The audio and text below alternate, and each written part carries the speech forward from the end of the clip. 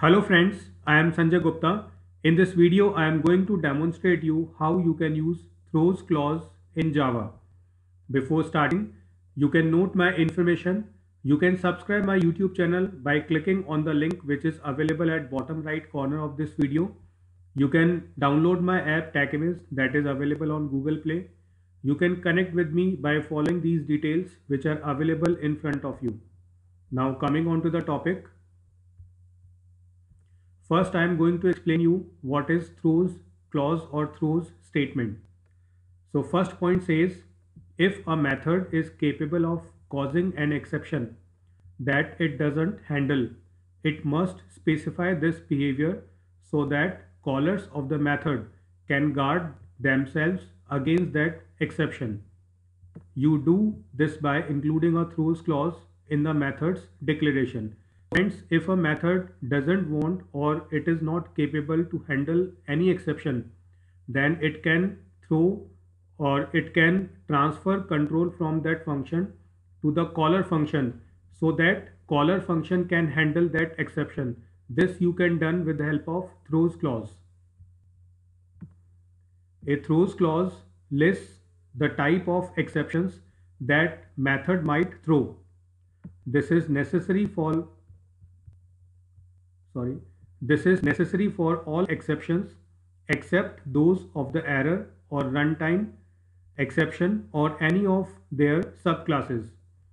So if you are uh, facing any error or if you are uh, using runtime exception class or uh, any of their subclasses then it is not necessary otherwise uh, in all other exceptions it is necessary uh, to throw any exception that a method doesn't want to handle.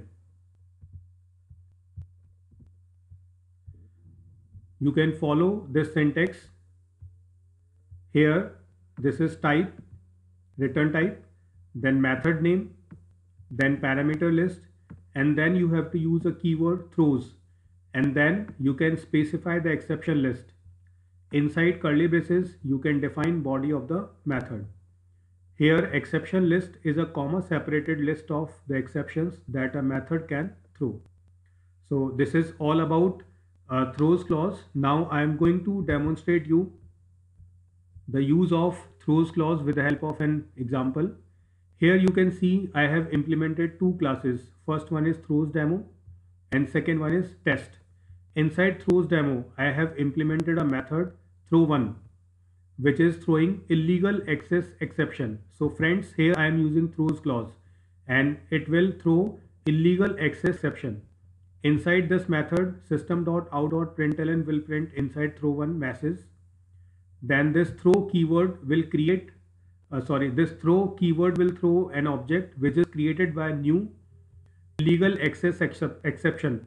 So if you want to throw an ex uh, exception then you have to create an object of that particular type.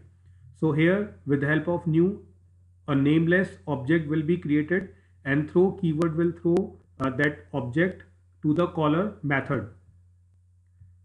Now inside test class main method is defined. Inside main method between try uh, block throws demo dot throw one. This statement is written. So throw one is a method which is called uh, with the help of class name. Throw one is a static method. As you can see throw one is a static method. So there is no need to create an object. We can call it by using name of the class so throw one is called by main method. Control will be transferred to its, definition. Then it will print inside throw one message and then an object will be thrown with the help of throw keyword. So if you are using throw keyword then necessarily you have to define throws clause so that an exception can be transferred to its caller method. So throw one is called by main. So control will be transferred to main. And here using try and catch we have handled illegal access exception and the thrown object will be received by this object E. Here with the help of system.out.println values of E will be displayed on console. Now I am executing this code. You can see the output inside throw1 is displayed here and caught message and java.lang.illegal access exception demo is printed here uh, it is printed through this statement which is available in catch. So friends, if you want to throw an exception from a method to its caller method so that uh, that method uh, don't have to uh, catch or handle that exception, it will be handled by the caller method. You can use throws clause and uh, in support you can use throw keyword. This is all about throws clause. You can implement this demonstration in your system so that you can understand the concept well. If you want to watch more programming related videos, you can subscribe my YouTube channel. Thank you for watching this video.